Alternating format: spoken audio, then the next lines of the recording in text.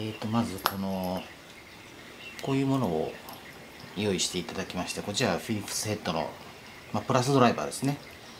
こちらはこんなものを用意してもらってまずここのこれを蓋を取っちゃいます。こんな感じですね。でここにネジがありますのでここを押さえる。でこっち側こんなまま反時計回りに回します。ここを押さえて。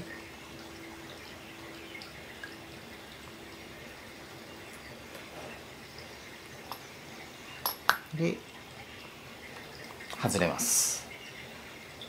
以上です。